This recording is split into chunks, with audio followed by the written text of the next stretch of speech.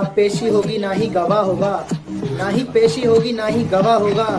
जो हमसे टकराएगा ना, वो सीधा साला तबाह होगा। बोला था ना एंटी होगी तो सबसे ग्रेट होगी।